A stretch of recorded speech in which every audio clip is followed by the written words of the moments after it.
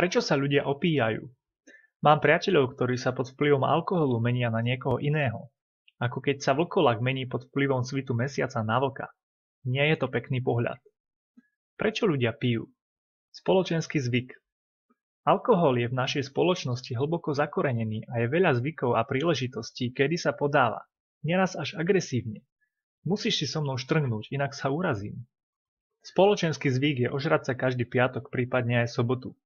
Prakticky vždy, keď sa nejde ráno do práce. Oslavy. Svadba, narodenie dieťaťa, narodeniny, meniny, nový rok a iné príležitosti sú dôvod na oslavu a pitie alkoholu vo veľkom. Je to akási zvláštna tradícia. Čím viac vypiješ, tým väčší si frajer. Na Slovensku sa frajerina meria počtom vypitých pív alebo panákov, v extrémnych prípadoch fliaš. Čím viac vypiješ, tým väčší si frajer. Vedľajší efekt tejto frajeriny je ranná nevoľnosť, prípadne nevoľnosť na niekoľko dní. Niektorým ľuďom býva z alkoholu zlé aj niekoľko dní, no predsa si ho doprajú. Aby si zase mohli povedať, už nepijem. Zábava. S alkoholom je zábava. Teda s opitými ľuďmi je zábava. Vymýšľajú také hovadiny, ktoré by zatriezva nevymysleli. Ľudia sa chcú baviť, chcú robiť hovadiny a tak sa jednoducho opíjajú, aby zažili srandu. Príležitostné pitie Existujú ľudia, ktorí pijú alkohol príležitostne. Len tak, aby sa opili a znova si pripomenuli, prečo nepijú. Aby sa ráno zobudili s opicou a ľutovali, že sa opili. Prípadne pijú len keď je čo oslavovať. Napríklad koniec pracovného týždňa. Pitie s mierou. Existujú ľudia, ktorí pijú alkohol s mierou. Len tak do nálady. Nemajú ani opicu, Menej alkoholu dokáže telo vstrebať celkom bez problémov. Títo ľudia pijú, aby sa zabavili. Bol som jedným z nich. Už po pár pivách som cítil zmenu nálady. Svet bol akýsi krajší, ľudia boli krajší. Piť s mierou je fajn a alkohol v malom množstve môže byť aj zdraví prospešný. Problémom veľa ľudí je, že nemajú mieru. Keď pijú, tak pijú až tak, že ledva artikulujú a potackávajú sa. To by nebolo až také zlé, keby im alkohol nemení aj psychiku. Niektorí ľudia sú v alkoholovom opojení agresívni, iní sú nejakým spôsobom otravní a ďalší zase vystrájajú rôzne voloviny. Na druhý deň si nepamätajú, čo vystrájali. Dočasné šťastie. Alkohol uvoľňuje tzv. hormón šťastia endorfín. Na obrázku sú molekuly myozínu, svalovej bielkoviny, ktorý ťaha guľu endorfínov do časti mozgu, ktorá vyvoláva pocity šťastia. Vyzerá to zaujímavo. Ak vypijete panáka, pivo alebo iný druh alkoholu, po chvíli vám mozog zaplavia endorfíny a pocítite, že ste šťastnejší. Dáte si druhú dávku alkoholu a zvyšite tak dávku endorfínov. Po niekoľkých dávkach môžete povedať, že ste v nálade. Dosiahli ste tak dočasné šťastie. Gratulujem. Ak pokračujete v pití, stav z nálady sa mení na stav opitosti, kedy máte problém koordinovať pohyby. Namiesto chodenia sa tackáte a keď sa pokúšate rozprávať, ťažko artikulujete. Alkohol vyvoláva príjemné pocity len do istej miery. Ak to s jeho konzumáciou preženiete, u mnohých ľudí nastupuje smutok a pocit úzkosti, u niektorých zvracanie, následne ráno bolesť hlavy, sušaky a u niektorých opäť zvracanie. Ľudia túžia po šťastí, ak nenachádzajú šťastie vo svojom živote, snažia sa privolať šťastie inou cestou, pomocou alkoholu a iných látok vyvolávajúcich dočasné šťastie.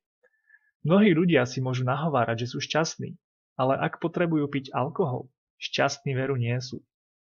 Skutočne šťastný človek nepotrebuje ku šťastiu alkohol. Veľa ľudí si myslí, že vie, čo je šťastie, no ja tvrdím, že nevedia.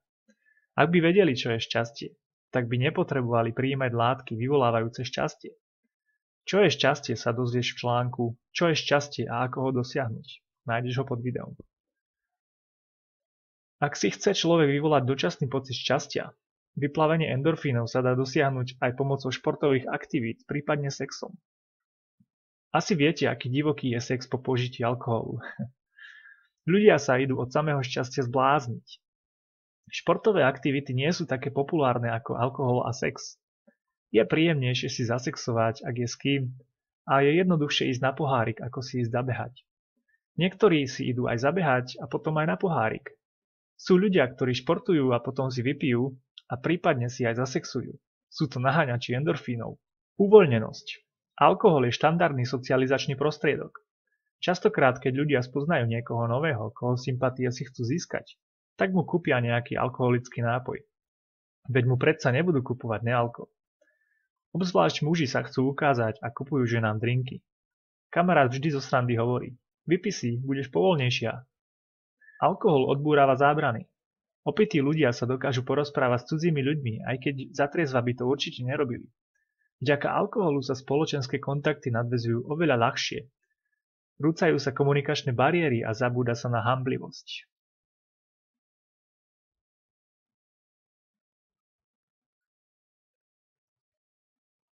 Ľudia pijú, aby sa uvoľnili, pretože ich život v Matrixe je dosť napätý. Samé povinnosti a málo času na seba. Tam účty, tam problémy, tam hnev, tu stres. Život v tomto systéme je pre človeka ťažký. Preto je alkohol legálny, aby sa mohli ľudia uvoľniť. Ak by ľudia žili v neustálom napätí, skôr či neskôr by jednoducho skolabovali. A to by pre systém nebolo dobré. Alkohol drží ľudí pri živote v ich utrápenom a neustálom, neustále napätom živote. Ak pracuješ viac ako 35 hodín týždenne a navyše robíš prácu, ktorá ťa nenaplňa, tak potrebuješ aspoň 2 dní v týždni voľna. A tiež si potrebuješ zresetovať hlavu, aby si bol pripravený na nový pracovný týždeň. Niekto si spraví pekný výlet a niekto sa opije. A niekto si spraví pekný výlet a aj sa opije. Alkohol je také tlačidlo reset, ktoré človeka pripraví do nového pracovného týždňa. Bez tohto tlačidla reset by bol život človeka žijúceho v neustálom napätí veľmi ťažký. Zahoď starosti. Ľudia si v hlave vytvárajú starosti. Na tieto starosti im aspoň na chvíľu pomôže zabudnúť alkohol. No nie vždy je tomu tak. Alkohol tieto pocity starosti môže ešte viac umocniť a ľudia tak prežívajú svoje emócie intenzívnejšie. Ľudia pijú, keď zažívajú psychickú traumu.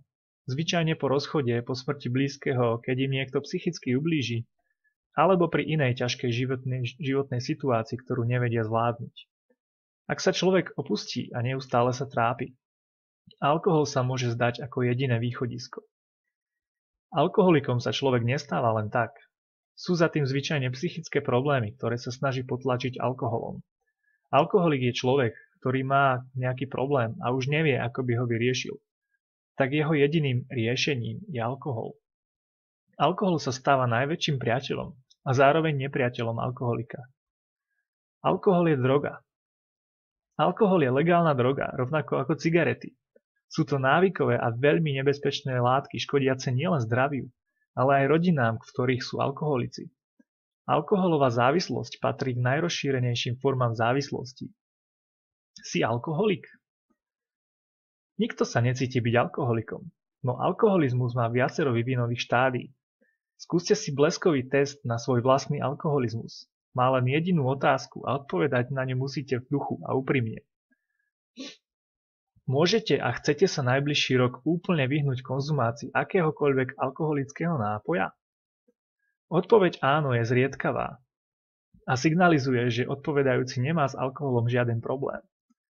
Viac o fázach alkoholizmu sa dočítate v článku Fázy alkoholizmu, ktorý nájdete pod videom. Môžete určiť, v akom štádiu alkoholizmu ste a urobiť potrebné opatrenia. Podľa môjho pozorovania sa väčšina ľudí nachádza vo varovnej fázi alkoholizmu. Dajte si preto pozor, aby ste si nevytvorili ešte väčšiu závislosť. Alkohol patrí medzi najzradnejšie drogy. Dlho, dlho nič. A potom je človek zrazu alkoholik. Alkohol je nebezpečný v tom, že v spoločnosti je ospevovaný a nie je považovaný ani za drogu. Dnešná spoločnosť je žiaľ spoločnosť alkoholikov. Ahoj.